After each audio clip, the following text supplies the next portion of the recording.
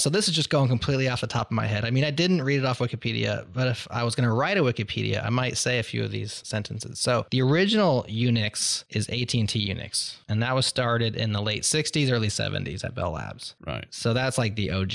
It wasn't even open source; it's proprietary. AT&T licensed Unix to various parties in the 70s, and that led to the different Unix variants like UC Berkeley's BSD, Sun's Solaris, IBM's AIX, and there's more than just those.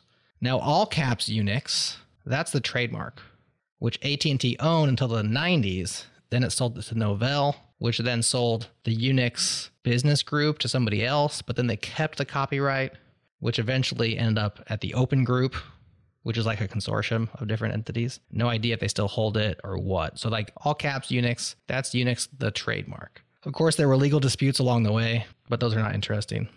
Back in the 80s, the GNU project began, which was an effort to create a free software Unix like system. You probably have heard of GNU, stands for GNU's not Unix. It's not Unix, but it's Unix like. And it's famous for many mm-hmm. things, not just the invention of the recursive acronym, which is pretty rad and has been copied over and over again. What else does GNU do? You know, the GPL, the GNU General Public License, GNU's compiler core.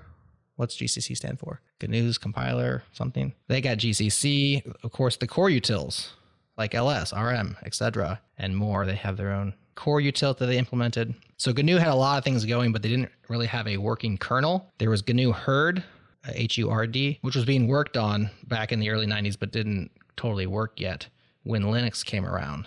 Of course, Linus Torvalds released Linux back in 1991, and that's a kernel. So the Linux kernel is an operating system kernel. It's not an entire operating system. He released that as GPL, so it got integrated with a bunch of other GPL stuff. And then there's also the BSD Unix effort, which was released in 1992. That led to NetBSD, FreeBSD, later on OpenBSD, and I think Dragonfly, a few others. So Linux and BSD, they have more in common than they have in difference. I mean, they're very similar, but the differences are what we focus on, of course, because those are the interesting bits. That's what makes it unique. That's why Yeah. we should even have more than one in the first place. But what they have in common is the Unix philosophy and the Unix architecture. The Unix philosophy is something we talk about on the show all the time.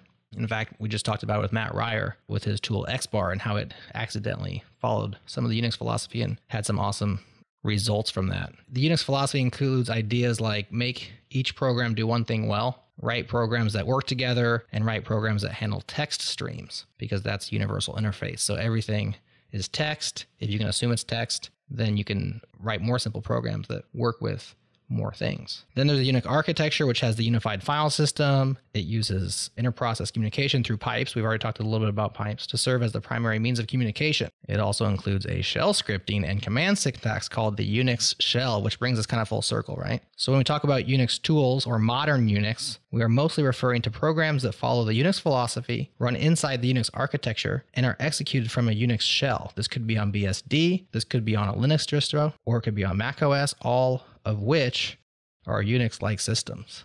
hmm Just off the top of my head. yeah, Yeah. right. That was a good one.